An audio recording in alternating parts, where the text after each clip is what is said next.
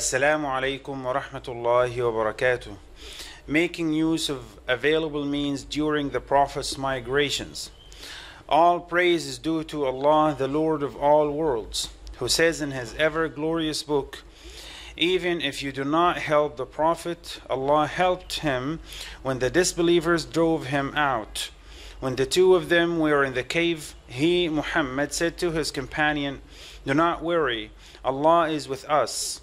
And Allah sent His calmness to him, aided him with forces invisible to you, and brought down the disbelievers' plan. Allah's plan is higher. Allah is almighty and wise.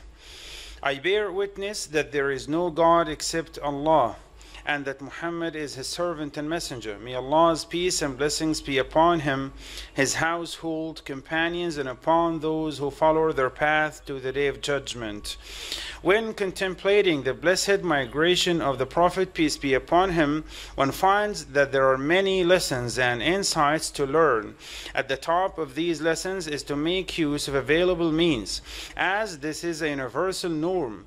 The Almighty Allah has set a reason for everything and stated that making use of these available reasons is an act of worship. Our religion calls for searching for the reasons and for acting, not for negligence and laziness. Our Prophet, peace be upon him, said, If you all depend on Allah with due reliance, He would certainly give you provision, as He gives it to birds who go forth hungry in the morning and return with full belly at dusk. Therefore, our Prophet, peace be upon him, was keen to make use of all available means during his migration. He planned very attentively and very well for the migration to make it successful. However, at the same time, his full reliance was upon Allah. He, peace be upon him, was praying to Allah and asking his support for the success of his planning. Thus, the Prophet's migration gathered both the good reliance upon Allah and making use of all means. The timing of the migration was carefully chosen as our Prophet, peace be upon him, went to the house of Abu Bakr Siddiq. May Allah be pleased with him at a very hot time so that no one would see him. They both embarked on their journey at night. Aisha, may Allah be pleased with her, reported that rarely did the Prophet, peace be upon him, fail to visit Abu Bakr's house every day, either in the morning or in the evening.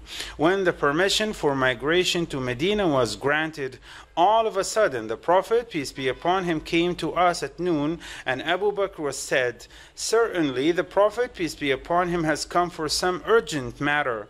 The Prophet, peace be upon him, said to Abu Bakr, when the latter entered, Let nobody stay in your home. Abu Bakr said, O Allah's Messenger, there are only my two daughters, namely Aisha and Asma, present.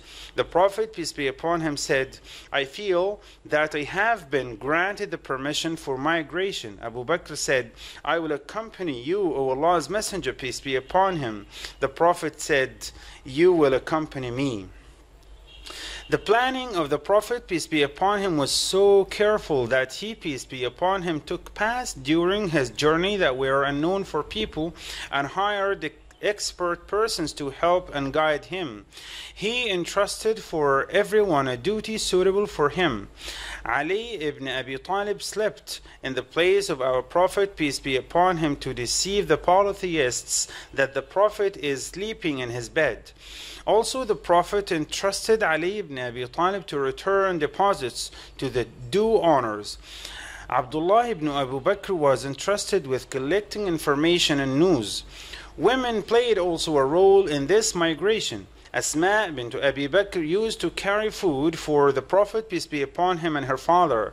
Amir ibn Fuhayra played an important role. He used to graze his sheep by day, then brought them at evening to the cave where Abu Bakr and Muhammad were hiding, so that the sheep would cover their foot traces. Also, Abdullah ibn Urayqit was the honest leader in the journey as he was an expert in the desert pass though he was not a Muslim. All praise is due to Allah, Lord of the worlds. May Allah's peace and blessings be upon Prophet Muhammad, peace be upon him, his companions and followers. The planning of our Prophet, peace be upon him, for the migration was so careful. The Prophet completely relied upon Allah the Almighty, and at the same time he made use of all available means for him. When the Prophet and Abu Bakr were in the cave, Abu Bakr said, I said to the Prophet, peace be upon him, while I was in the cave, if any of them, the polytheists, should look under his feet, he would see us. He, peace be upon him, said, O Abu Bakr, what do you think of two persons, the third of whom is Allah?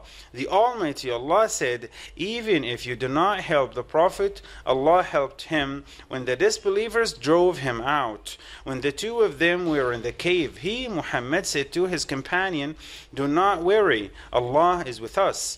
And Allah sent him his calm down to him aided him with forces invisible to you and brought down the disbelievers' plan. Allah's plan is higher. Allah is almighty and wise.